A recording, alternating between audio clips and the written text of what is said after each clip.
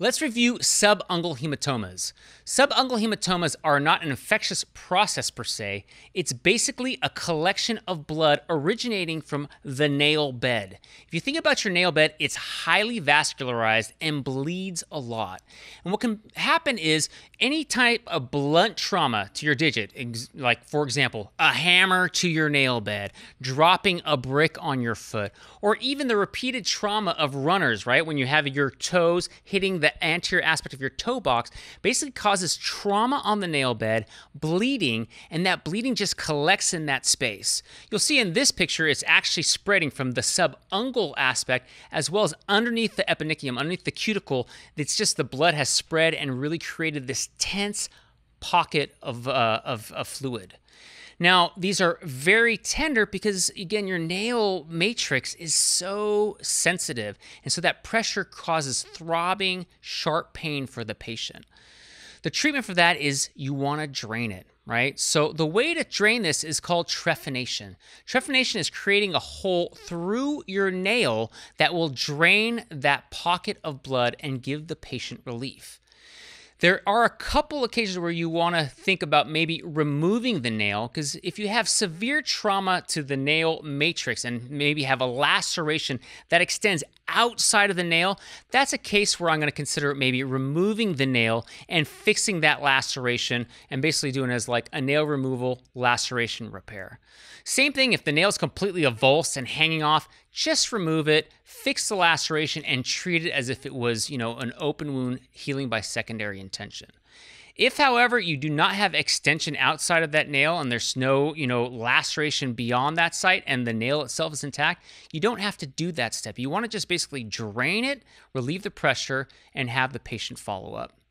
You want to make sure you're using aseptic technique, right? So again, this is typically not infected, but the fact that we're opening it up is going to, um, you know, put it at risk for de developing infection. So one of the biggest complications for subungual hematomas is you trephinate it, and they come back a couple days later. There's bacteria in that closed space, and it's infected, and you've got to treat that. So aseptic technique, typically antibiotics, no, I'm not going to be starting this patient on antibiotics if it's not infected.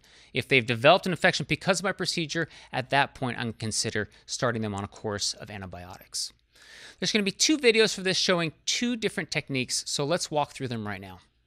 When I'm performing a trephination of a nail, I really look at it as two approaches. You can do a hot cautery approach, right? Where you're using either using a hot cautery to burn a hole through that nail.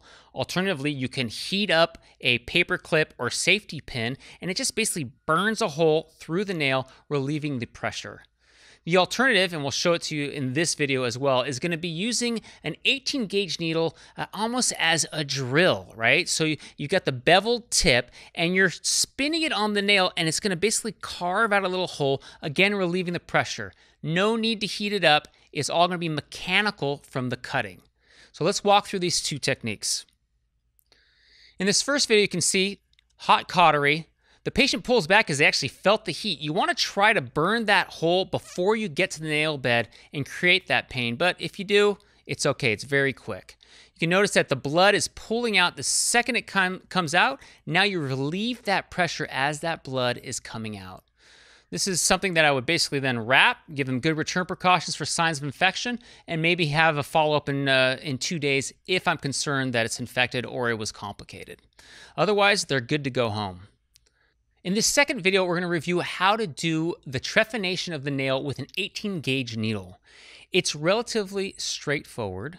What you want to do again is aseptic technique. You don't want to introduce bacteria into that space. You're taking the bevel of the 18 gauge needle and you're spinning it. You're just going to be spinning and using the cutting edge to create a hole. You want to stop once you get release of the blood. You'll see the blood come out of that hole. If you go any further, you're going to cause pain because you're going to be going into the nail bed itself. Occasionally, with a large subungual hematoma, you might need to create a couple holes, right? Two, three, sometimes four, to really get adequate drainage. Overall, though, these patients do very well. I'll put on a bulky dressing to kind of soak up the serosanguinous fluid that's going to drain from that hole over the course of the next couple hours today. I'll give them good return precautions in terms of if this gets infected, please come back. And I'll also let them know like occasionally that nail itself will fall off in a couple weeks or even sometimes months. What happens is the nail itself is lifted off the nail bed and so no longer attached. It will be attached at the skin and the cuticle, eventually just falls off. Not a big deal. A new nail will grow from the matrix and they'll have a finger that looks just like normal.